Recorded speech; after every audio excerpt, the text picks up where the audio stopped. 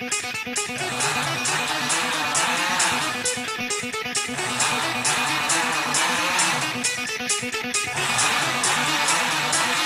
36 minutos sobre las 2 de la tarde suena la, sintonía del Thunderstruck, la sintonía que utilizamos habitualmente para hablar de baloncesto. Hoy es miércoles, nos ocupamos del baloncesto federativo, nos ocupamos de la actualidad de la Federación Navarra de Baloncesto y por eso me acompaña hoy aquí en el estudio nuestra compañera Edurne Itigibel. Edurne, ¿qué tal? Muy buenas tardes. Buenas tardes, José Ignacio. Encantada de contar un miércoles más la actualidad de la Federación Navarra de Baloncesto. Hoy comenzamos el programa anunciando una charla para entrenadores de baloncesto base para escuelas de baloncesto benjamines que tendrá lugar el próximo jueves 6 de diciembre a las 11 de la mañana en el Polideportivo Municipal de Berriozar. Bueno, ya sabéis también que los entrenadores necesitan tanta formación como los jugadores, porque son los encargados de, transmitir ¿no? Eh, esos conocimientos a los chavales que empiezan desde su más tierna infancia a botar el balón, así que eh, todo el mundo a apuntarse. Eh, cuéntame en qué va a consistir esta charla. La charla será impartida por Iñaki Cruz, entrenador superior director de los campus de la Federación Navarra de Baloncesto, y eh, tratará de explicar cómo, entrenar la coordinación, la preparación física y la técnica individual con un grupo de niños y niñas. La charla es gratuita y está dirigida a todos aquellos entrenadores o futuros entrenadores que, que quieran eh, recibir la formación. Bueno, pues todo el mundo apuntarse a la federación, ¿eh? guardaros un huequito el 6 de diciembre a las 11 de la mañana para ir un ratito al Poliportivo Municipal de Berriozar a participar en, esta charla formativa para, técnicos. Bueno, cuéntame. Y bueno, cambiando de, tercio, el pasado mes de agosto vio la luz un nuevo proyecto dentro del baloncesto navarro. Tras varios meses de rumores, la Fundación Navarra Baloncesto Ardoy dio un paso al frente y confirmó que esta temporada su equipo masculino competiría en Liga EVA. Para contarnos un poquito más sobre este proyecto tan ilusionante para el baloncesto navarro, nos acompañan Jorge Conde, director deportivo de la Fundación Baloncesto Ardoy. Buenas tardes, Jorge. Hola, buenas tardes. Y como anuncié el pasado miércoles, José Ignacio, he conseguido que también nos acompañe uno de los jugadores de Mega Calzado Ardoy, Imanol Janices también preparador físico del Grupo de Tecnificación de la Federación Navarra Baloncesto. Buenas tardes, Imanol. Buenas tardes. Bueno, eh, un puente entre la base y la élite, Mega Calzado Ardoy en EVA. Es el titular de la portada del nuevo número de la revista 625, que bueno, que ya hablamos de ella la semana pasada. Sí. Y que eso es editada por la Federación Navarra Baloncesto. ¿Qué supone para la Fundación Navarra Baloncesto Ardoy tener un equipo masculino en Liga EVA, la cuarta liga en importancia de las que se disputan en España después de la Liga CB, LEV Oro y LEV Plata.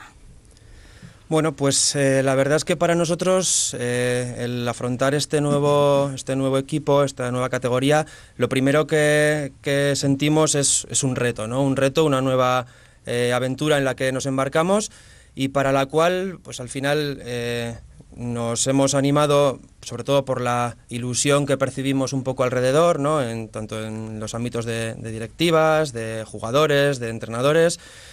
Eh, y lo que mm, básicamente eh, queremos plantearnos como, pues como reto para, para, asumir esta nueva situación es eh, el esfuerzo. ¿no? Al final yo creo que con trabajo y con esfuerzo es como se consiguen los retos y, un poco pues esa es la palabra que creo que define un poco eh, pues este, esta nueva situación, ¿no? el esfuerzo. Sí, ¿y cómo, cómo empezó a desarrollarse el proyecto hasta la formación del equipo? Es decir, ¿cuáles han sido los pasos que habéis dado desde que la Federación Navarra Baloncesto se puso en contacto con vosotros a principios de año hasta que se presentó el equipo en agosto?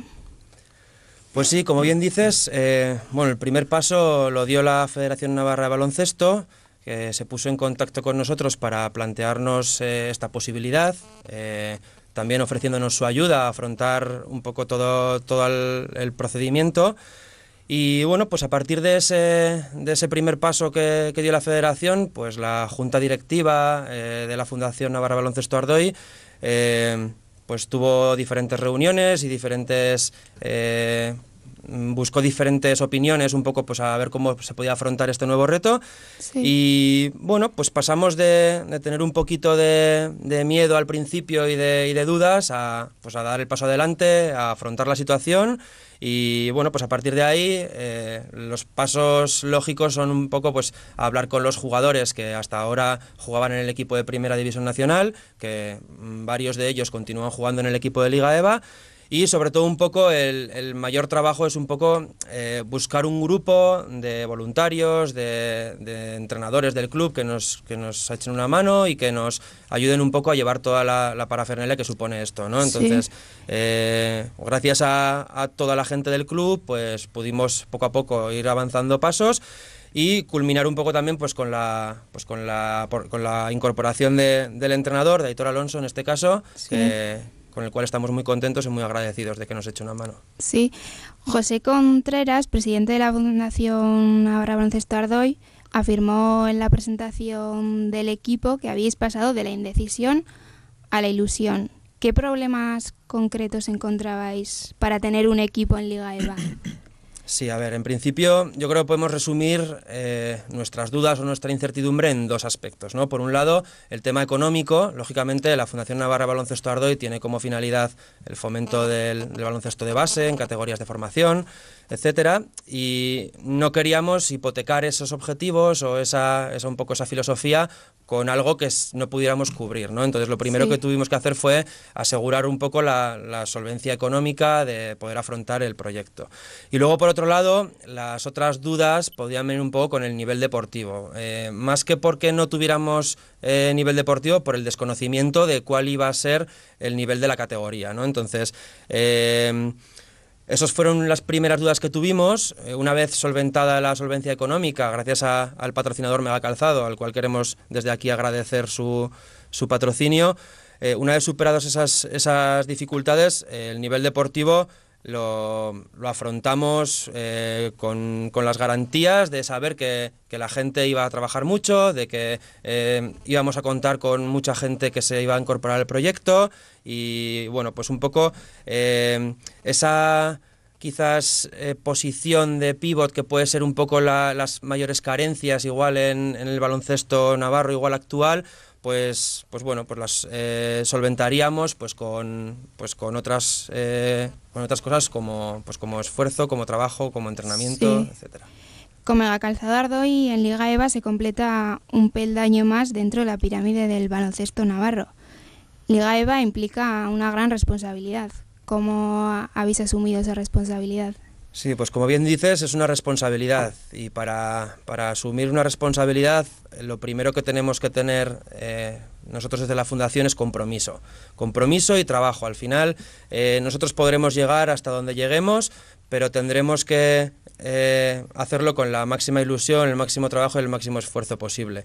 En el caso de que habiendo eh, afrontar la situación con el máximo compromiso, trabajo y dedicación. Si no conseguimos todos los objetivos que nos eh, propongamos, pues eh, tendremos la, conciencia tranquila y un poco el, pues el, conocimiento de que hemos hecho todo lo posible para intentar que salga adelante. Sí, y podríamos decir, Jorge, que uno de los principales objetivos de la consolidación del equipo es facilitar a los jugadores jóvenes el poder llegar a la élite del baloncesto. Desde la Fundación Baloncesto Ardoy, ¿cómo trabajáis para conseguir este objetivo? Sí, a ver, en principio esto es un tema que se puede abarcar de manera muy extensa. Nosotros en principio, eh, desde la Fundación Ardoy, como te digo, tenemos como principal objetivo el fomento del baloncesto de base y con todos los chavales y chavalas un poco de, de CIZUR y un poco gente también que, pueda venir a, incorporarse a los equipos, lo que tratamos de intentar es... Eh, ofrecerles una formación integral, eh, ofrecerles eh, una mejora continua al nivel deportivo y una formación también en, valores, en, un poco en, rutinas, en capacidad de, autosuperación, etcétera. Eh, esa es la base del baloncesto en Cizur y en Ardoy, aunque bien es cierto que gracias a este equipo hemos aumentado un poco lo que abarcamos en, en cuanto a a, gente para poder incorporar y eh, gracias al programa de tecnificación de la Federación Navarra de Baloncesto, pues eh, tenemos otros jugadores que no son, que no empezaron en Ardoy, que pues podemos eh, llevar un seguimiento muy cercano a ellos, pues hablando un poco con los entrenadores, con los preparadores, etcétera, de la Federación Navarra de Baloncesto. Sí. como dices, contar con un equipo en Liga EVA, bueno, puede ser un referente para las categorías de equipos inferiores y quizá una rentabilidad deportiva para, para la cantera de jugadores de la fundación. ¿Con cuántos equipos contáis actualmente?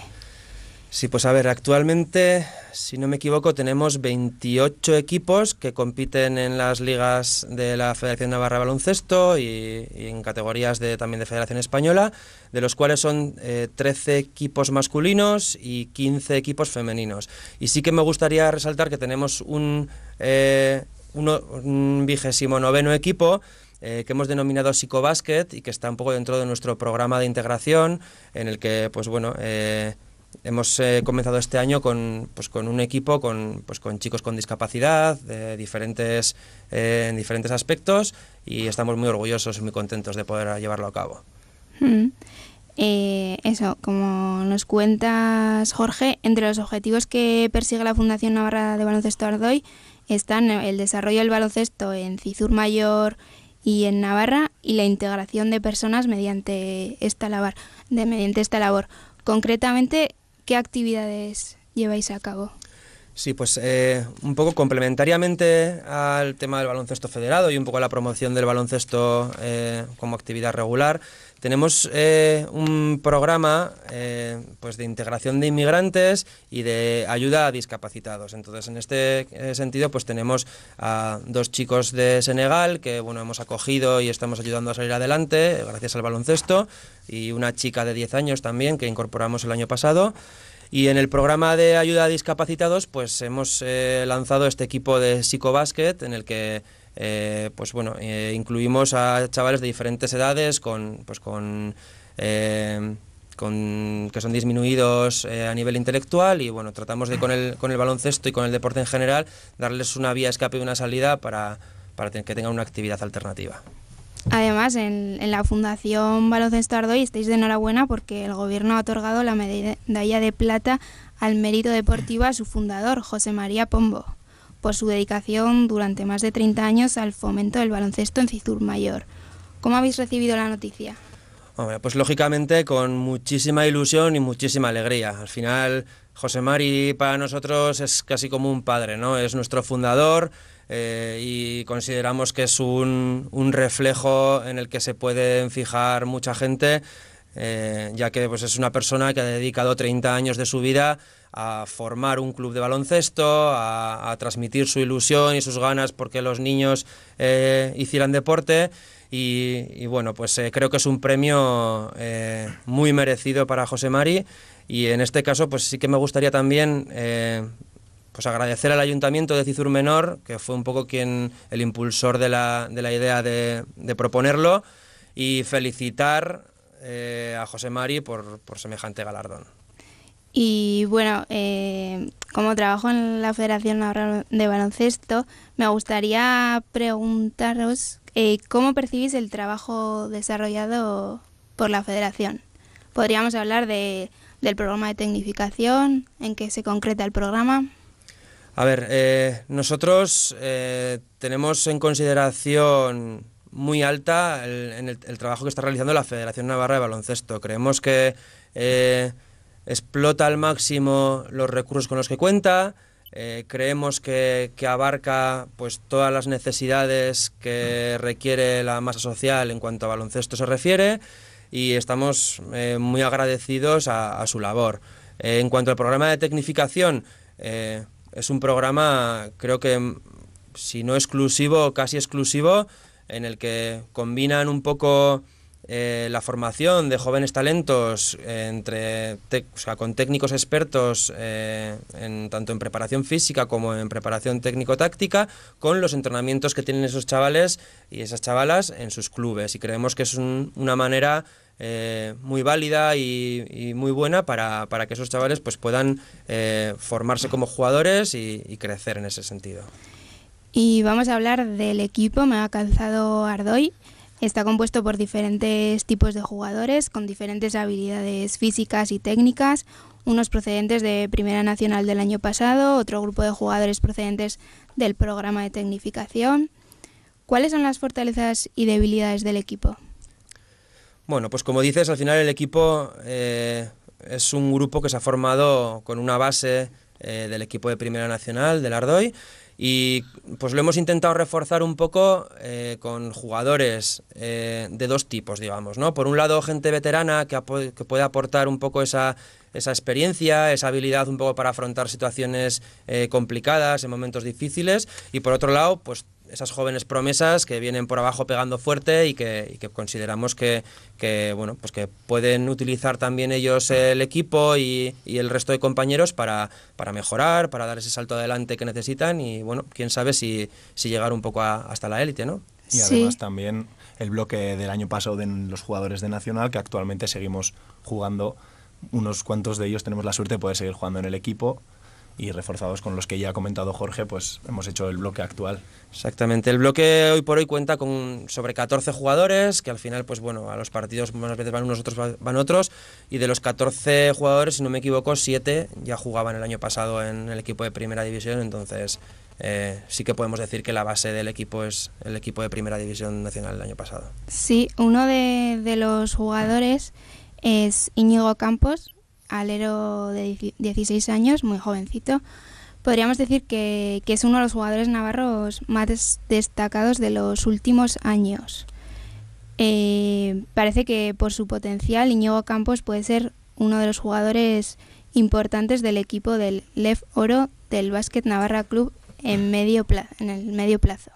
A ver, Iñigo es, eh, como bien dices, eh, un, jugador joven, final es un chaval de 16 años, que, es junior de primer año, y eh, su evolución yo creo que va a depender mucho de él mismo, ¿no? Creo que él, eh, siendo ambicioso, puede llegar a, cumplir con, los objetivos que se proponga y creo que es un chaval que, que, tiene posibilidades. Lógicamente no debemos olvidarnos que además de Íñigo Campos, eh, pues al final no hemos podido contar con ellos, pero sí que en un principio pretendíamos eh, pues poder contar con gente como Javi Lacunza, que este año eh, ha ido a la Liga Universitaria, a la NCAA, a jugar con una beca universitaria, o como Julen Velasco también, que, era un jugador que el año pasado estaba en, Burlada y que, y que, ha ido a estudiar a Bilbao, a Bilbao y que está jugando en, en Santurci, ¿no? en Liga EVA también. Entonces, bueno, pues hay varios jugadores que vienen de ese programa de tecnificación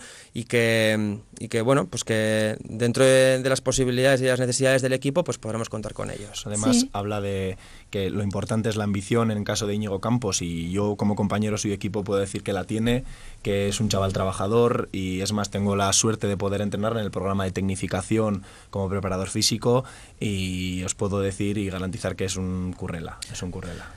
despacio, ¿no? Eh, sin prisa pero sin pausa, porque es, que es el mejor camino, ¿no? Para, para estas cosas tampoco meterle la presión de decirle eres, eres la estrella, eres el futuro rey del baloncesto en Navarra. Sin ninguna duda. Vaya a ser que se lo crea, ¿no? Eso está clarísimo, que vaya despacio y poco a poco. Y además tiene la cabeza muy bien amueblada, o por lo menos sus padres le apoyan, le apoyan en todo lo que pueden y eso es fundamental en la evolución de cualquier jugador. Sí, sí. Y imagino que, que para vosotros los jugadores, y Manol, es un privilegio poder jugar en Liga EVA Además, para ti debe suponer una doble satisfacción porque es la Fundación Baloncesto Ardoy donde has crecido como jugador. Sin ninguna duda, muchísimos años dedicados al baloncesto a la fundación, eh, como entrenador, como jugador y bueno, uno de los retos de todo jugador es llegar lo más alto posible y en este caso, pues si lo puedes hacer con el club de toda, de toda tu vida, pues qué mejor manera, ¿no? Que te den la posibilidad, desde aquí al final les doy las gracias porque es, es un es un reto que nos han puesto encima de la mesa y bueno, que asumimos con ilusión.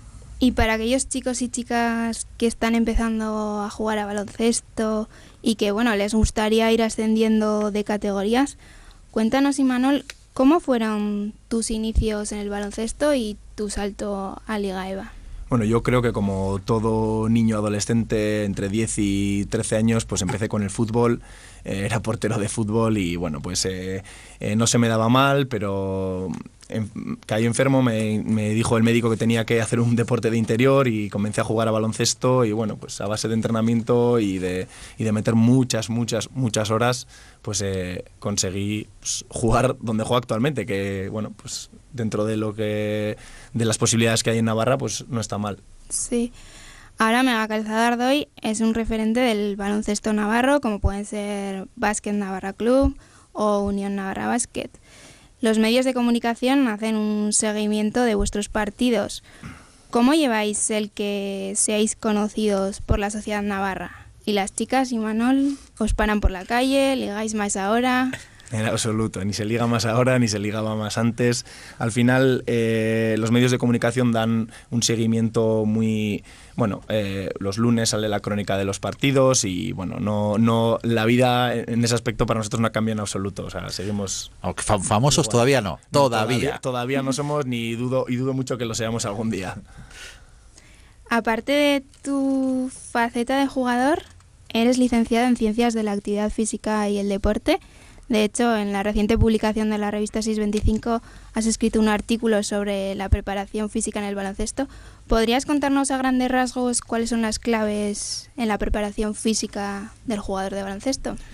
Bueno, pues al final son, aparte del trabajo físico, el, el alimentarse bien, el entrenar mucho, son claves. ¿no? En el aspecto físico lo más importante quizás sería trabajar bien la fuerza y la resistencia de una forma mixta, que es al final son las cualidades en las que se basa el baloncesto. Sí. Y Manuel, eh, tu carta de presentación en Twitter es aprendemos cuando nos emocionamos, no cuando repetimos. Nunca jamás. ¿A qué te refieres? ¿Esta frase está relacionada con tu faceta de jugador o...? Es con mi forma de pensar. Yo soy profesor de educación física y como tal, pues creo que eh, repetir por repetir eh, no tiene sentido en, a nivel educativo.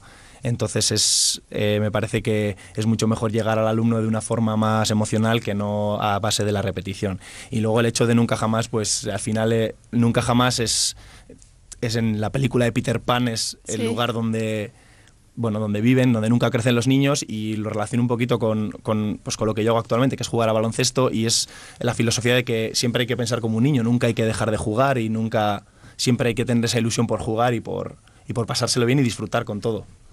Bueno, la verdad es que muy interesante. Interesante charla, ¿eh? ¿eh? Esta gente de, de, la Fundación Navarra de Baloncesto Ardoy eh, está muy preparada para, para, la vida moderna, ¿eh? tenemos, hemos tenido dos oradores, ¿eh? hablan fenomenal. Sí. La verdad es que es un proyecto muy bonito, es eh, un proyecto integrador que nos gusta también y sobre todo, bueno, es un proyecto con vistas a muy largo plazo. ¿Tenéis alguna aspiración así de, de futuro eh, no sé, a mí se me ocurre un gran club ACB, una cosa así, o, o no. Bueno, en realidad eh, ahora mismo no nos planteamos esas, aspiraciones. Al final lo que, lo que queremos es ir paso a paso. Y ganar el sábado. el sábado tenemos un viaje hasta Salamanca, en un partido complicado, en el que yo creo que tenemos opciones de, de competirles y llegar al final del partido con opciones de ganarlo y es en lo único que pensamos ahora mismo deportivamente. Bueno, pues queremos agradeceros, Jorge y Manuel, muchísimas gracias por acompañarnos. Muchas gracias. Edurne, ha sido un placer, ¿eh? una semana más. Muchas gracias. Hasta la semana que viene. La semana que viene, adelanto, vendrá Agustín Alonso, presidente de la Federación Navarra Baloncesto, a contarnos un poco más cuáles van a ser los retos de la Federación para la temporada siguiente. Pues aquí os estaremos esperando. Muchísimas gracias, Edurne. Y a todos vosotros, contaros que mañana estamos de vuelta aquí a partir de la 1 y 5, como siempre. Hasta mañana.